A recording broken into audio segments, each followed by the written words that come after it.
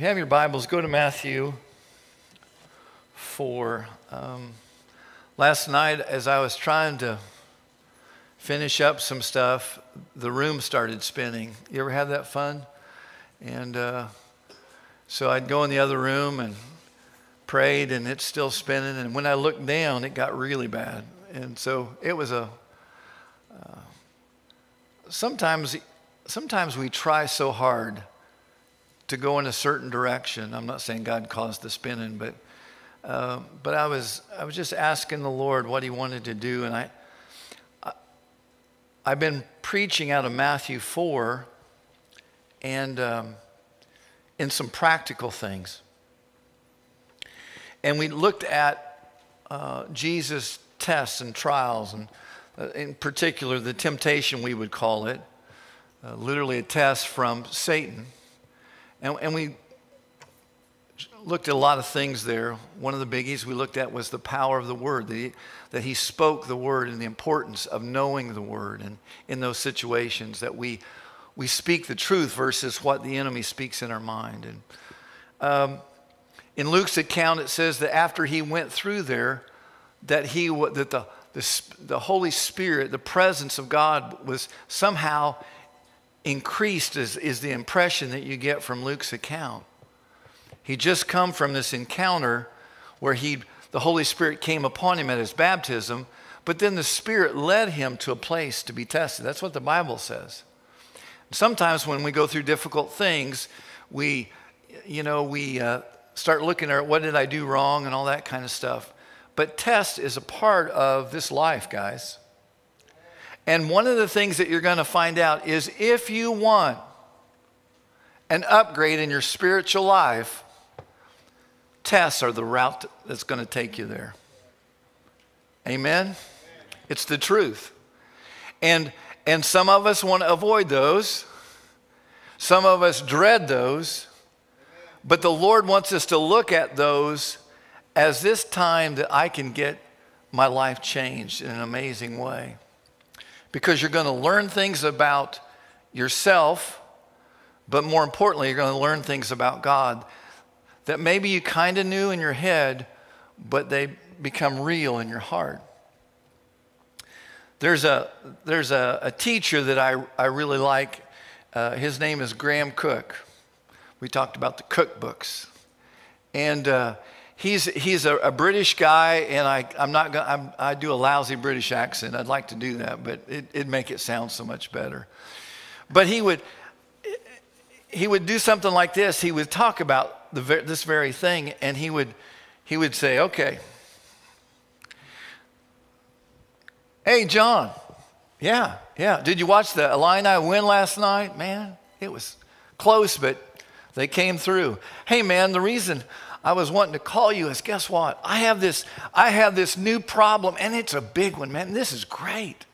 Yeah, yeah. This is, I mean, I, the Holy Spirit was just kind of going off in me, and I knew something was up because he was pretty excited about it. So, hey, so, so how are you doing? You, you got any problems, man? No. Oh, man, that's a bummer. Hey, listen. I tell you what I'll do. If you want to, if you want to get in on this, I'll share this with you. But but you got to promise. You got to promise that you know when when uh, when you get one that you'll do the same favor for me. Click. But that kind of mindset to realize that the things that come at us, the bigger they are, the greater the victory. Bible says in Romans that, that God wants us to reign in this life. The Bible says things that we throw around that we're more than conquerors. I'm amazed that people say that, and then, man, when a problem comes, they whine like a big dog. You know, they're just, oh, man. But we have to see it. Some of those things are, are things that we've done. You know, wrong choices kind of set us up, and God wants us to overcome in that area. Sometimes, just like with Jesus, He, he takes him, allows allows things to happen because he has this greater thing coming. You know, Jesus comes down, and we're going to read here in just a second. He comes down uh, from that temptation or, or, from the wilderness. I always think down, but you know, he's like out in this, this deserted place because the greatest tests are when you're by yourself, aren't they? Or you feel like you're by yourself. You feel like you're, you're in it alone. It's, it's one, of the, one of the things the enemy tries to do is to get us off by ourselves because we're easy prey that way, oftentimes. So, anyway, and with this COVID thing, it's been nuts anyway. You know, it's been more difficult, but that doesn't mean you can't call or, or talk to people. But he comes down and he's launched into his ministry from there. Um, when I worked for the state years ago, I remember we had just went through a, a, just a really hard financial time. We'd moved back to Illinois and uh, had had some jobs that didn't pay very well, and it was just a. It was during Reagan's administration, the first couple years, and and I think he made a lot of right choices, but the economy was tough for a while. And so, um, so I end up getting a job for the state. And, and this particular agency, you started at the very bottom, you know, and you worked your way up. And the bottom was better than what I was making, but I, I was really needing for it to get bumped up. And they had, you know, uh, some automatic raises that would happen, like at three months, six months, you, because you had learned how to do a certain amount of stuff, and then they could they could give you more things to do that were more difficult. And uh, if you've ever worked for the state, you kind of understand some of that. So I had been there, and it was time for that raise, that first raise to happen, and I was pretty jazzed about it. You know, we had four kids, and uh, life was was was challenging and, um, and each area had a, re, a, they call it a region, and they had a, a, supervisor over that region. I'm not sure that was the title, but our guy was down in Marion, but the one that we'd had retired. And so now we didn't have anyone. And so the guy who was over in East St. Louis became not only the one for over that way, but over, over here. And um, the acting boss for me, you know, put in for that raise and, and the guy wouldn't let me have it. And you know, I got kind of aggravated because it was more than just about me, it was about my family. And so as days pass and he keeps putting it off, Christmas is coming. And, you know, it just gets worse. And I'm telling everybody about, can you believe that jerk? You know, blah, blah, blah, blah, blah. You know, I'm big, you know, super spiritual guy here.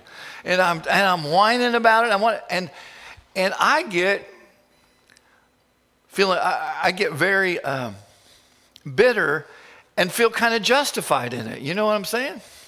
And so, so the Lord in my prayer closet, I'm sure he had a hard time getting through because that was pretty big on my head. He had to get the four by four and whack me upside the head and say, hey, listen,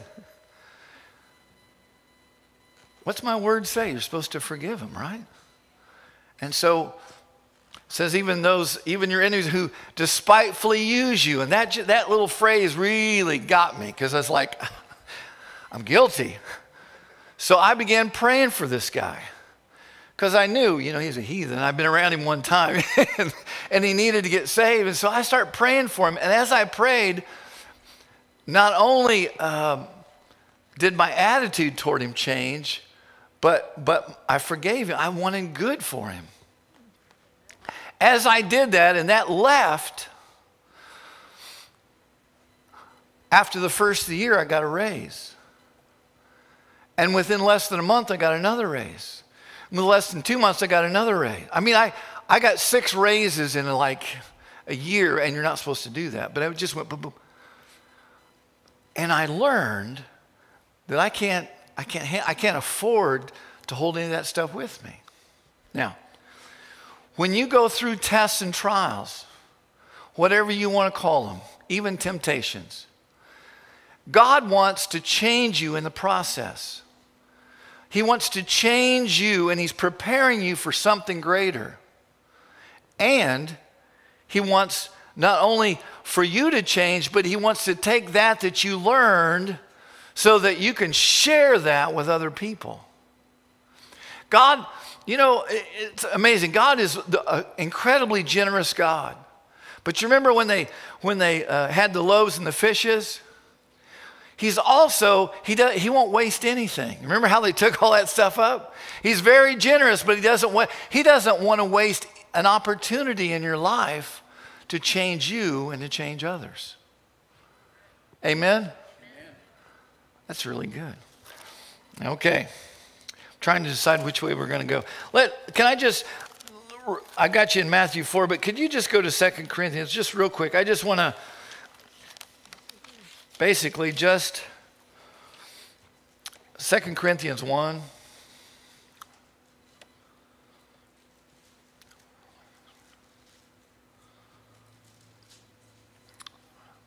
And uh, verse 4.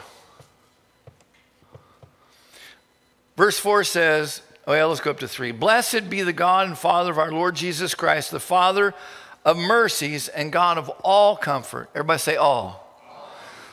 That comfort is not, you got to understand, it's not just you poor thing.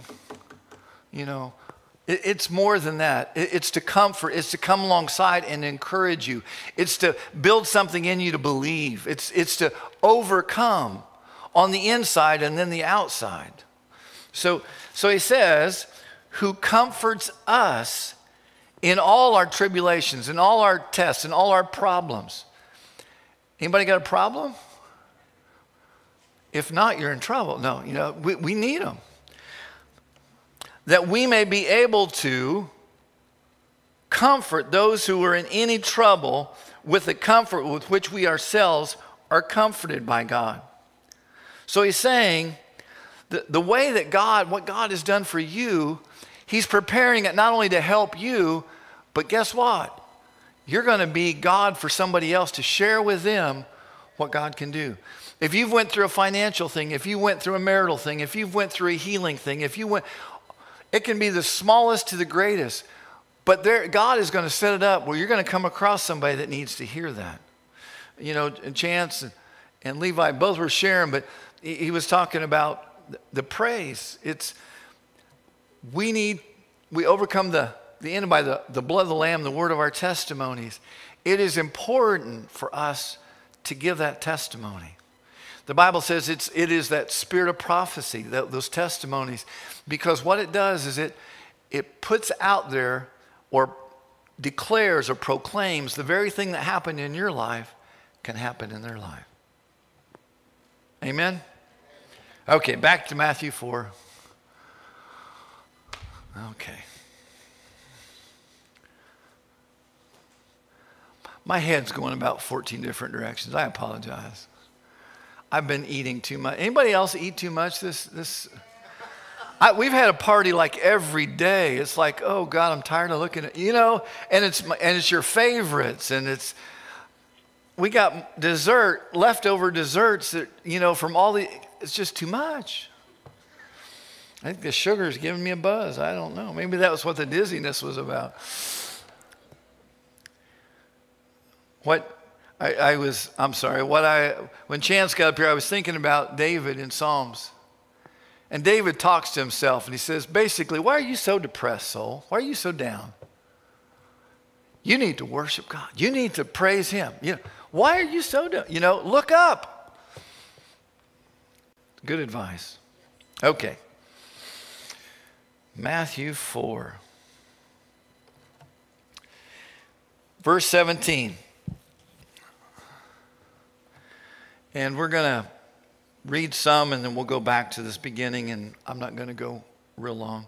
From that time, Jesus began to preach and to say, now this is after the temptation, after the trial. God is launching him, the Father's launching him into something that he hasn't been doing. We have no record before this that Jesus did any kind of ministry. From that time, Jesus began to preach and to say, Repent, for the kingdom of heaven is at hand. And Jesus, walking by the Sea of Galilee, saw two brothers, Simon called Peter and Andrew his brother, casting a net in the sea, for they were fishermen. Then he said to them, Follow me, and I will make you, not you will make you, I will make you fishers of men.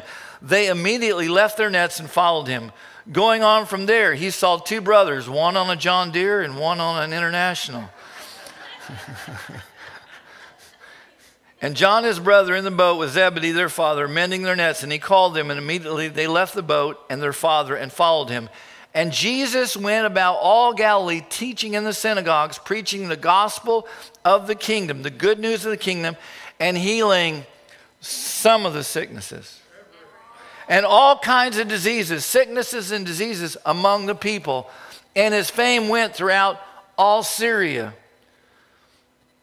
And they brought to him all sick people who were afflicted with various diseases and torments, and those who were demon possessed, and epileptics, and paralytics, and he healed them.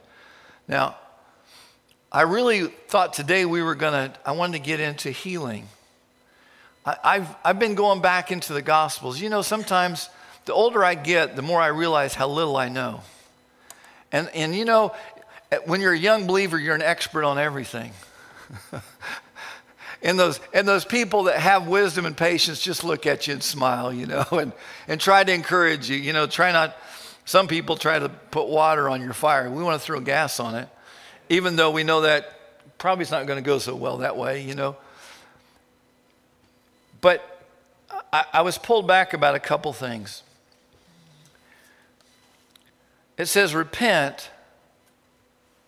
For the kingdom of heaven is at hand.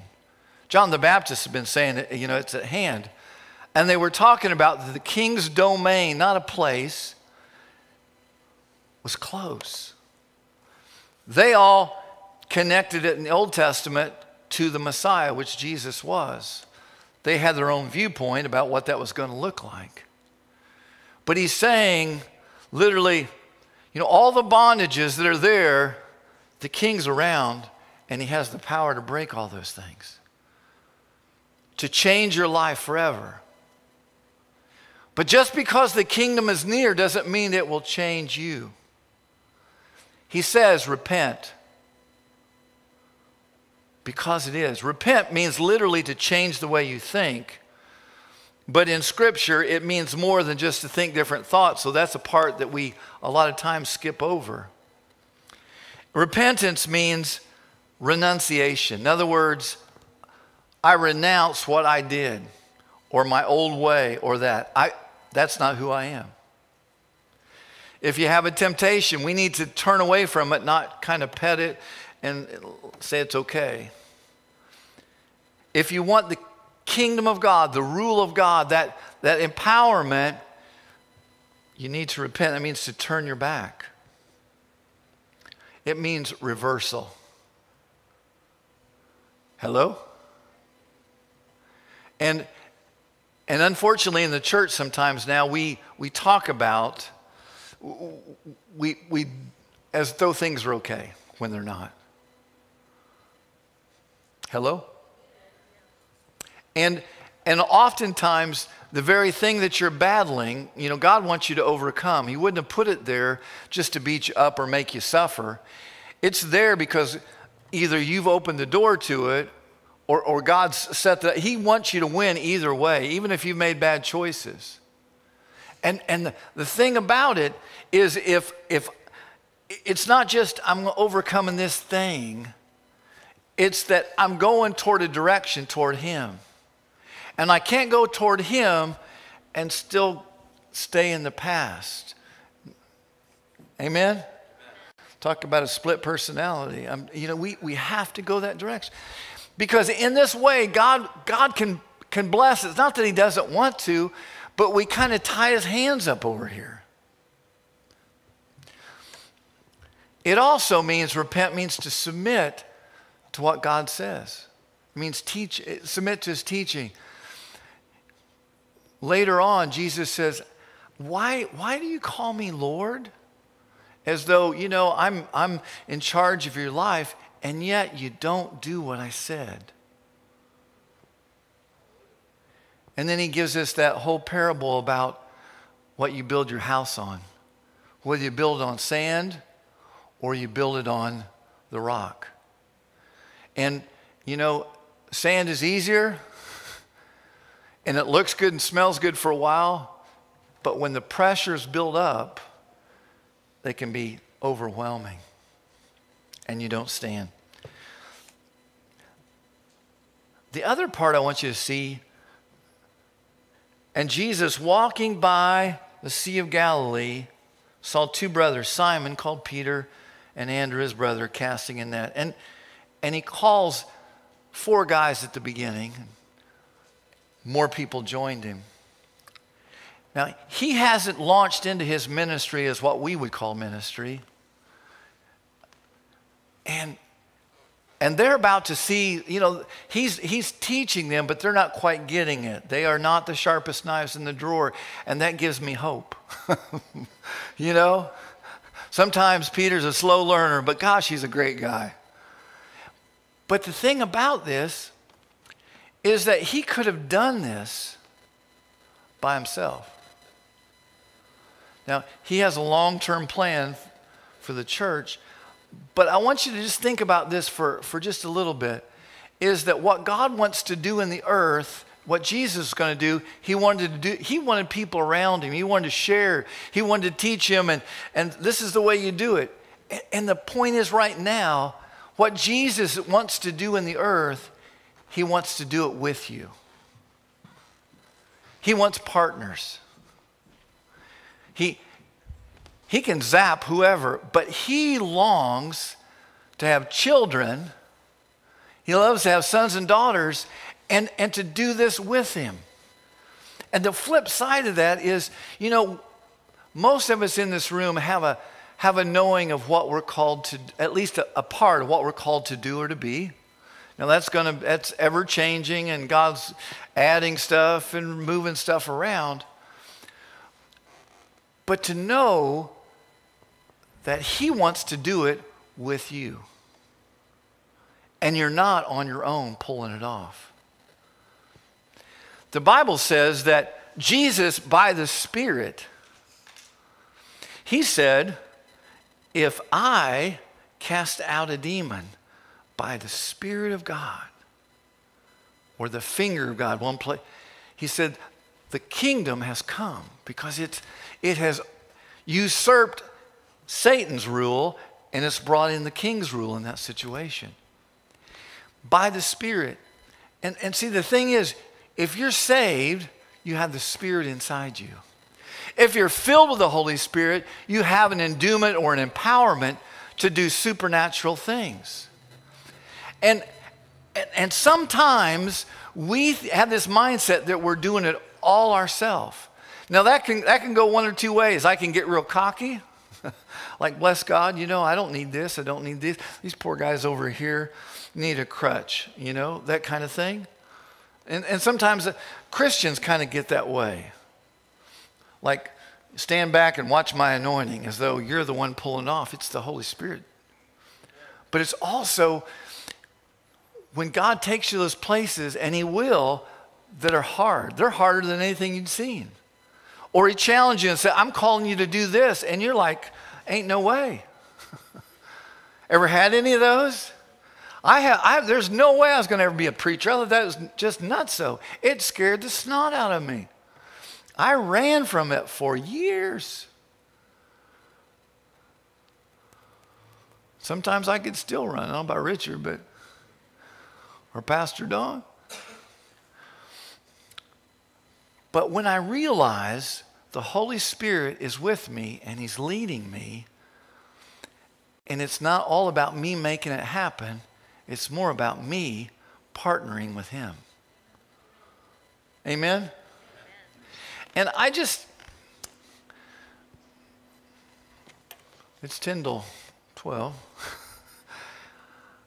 I felt like the Lord wanted me just to back up, just to say, because guys, what, what happens after this is this huge revival in Galilee.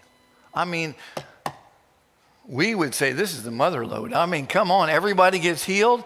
And, and if you look at where it says all these people are coming from, they're coming from long distances, dragging people to be healed. And people are encountering the kingdom of God. We would stand on our hands, we'd stand on our head to see stuff like that. We, we just, But we're going to see those kinds of things. But we have to learn how do we handle trouble? How do we handle problems or difficulty? Do we run from them? Do we complain about them? Do we see that? It, it's, it's an opportunity for an upgrade. I don't know if you know what that means. If you've ever flown, especially if you, I mean, A and Chuck know, on those long flights that are over 12 hours, God have mercy. And if you're a big guy like me, like Chuck, they put you in these seats that you can't even put your elbows out. You're like this for 12 hours. And you can't even hardly eat your food. You know, it's kind of like, and when you go to move, you hit somebody else, or I'd stick my leg out in the aisle and always run that cart over my foot. And, but I would get up to stretch because it's just, it's a long, you know, and I, and it was big plane. And so you'd walk, I, it was kind of like a big square you could walk around. And on that, on the front edge of that, one time I looked in the curtains and I saw what first class looked like. And I lusted after first class, you know. Because these guys are, I mean, you know, they got beds made, they got people waiting on them hand and foot, anything they want. You know, it's just like, well, from where I'm going to there, it's an upgrade.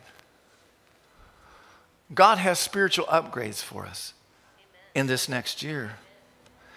And, and the Lord wants to remind you it's more than just, you know, because sometimes it's more than just this one thing, because we always get focused on this one thing. And then we get past that and we're kind of like, okay, downhill from here. And it isn't. It's like, and in this next year, this last year has been something else, isn't it? We've never seen it. I don't know what this next year is going to look like. I have some ideas, but I can't say I've heard God say this or that. But there's a stirring in my heart that I know the thing that we've prayed for for 20 some years and, and people have prophesied in this country for decades. It's, it's, we're going to see some things we haven't seen before. But before those happen, just like in Jesus' life, there's going to be some speed bumps and there's going to be some mountains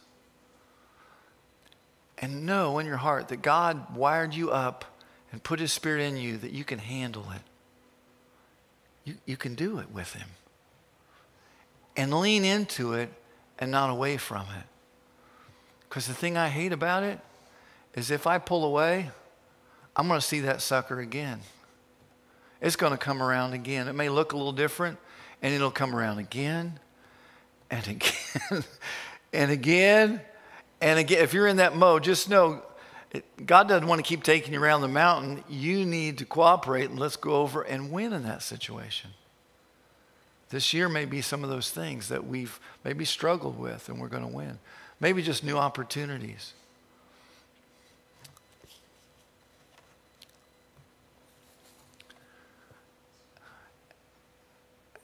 And I also believe that you're going to have opportunities to pray for people to bring healing into their bodies and their minds and their relationships.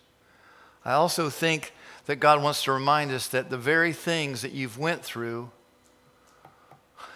are really precious. And you need to share with people and even look for people that are going through it. Because he wants you to encourage and comfort and give confidence to people that they're not in alone and God's going to provide the grace, the empowerment to win in that situation. Amen? I think that's all he's got to say for today. Thank you, Lord. Can we just just close your eyes a second? Let's just see if there's anything else he wants to do. Uh, thank you, Lord. Thank you, Lord.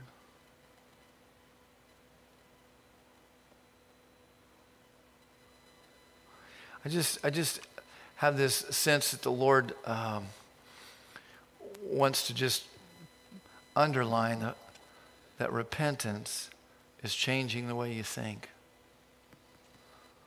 That God wants you to take the attitude and the thoughts from heaven and not from the earth. Lord wants to let you know that you got to quit comparing yourself to other people. and that you, uh, you need to change the way you think instead of dreading or being fearful or, or rehearsing um, failures. He wants you to change the way you think. He wants you to change the way you think about how He sees you. We've been taught lots of stuff through the years about this. But it's time to really go after it.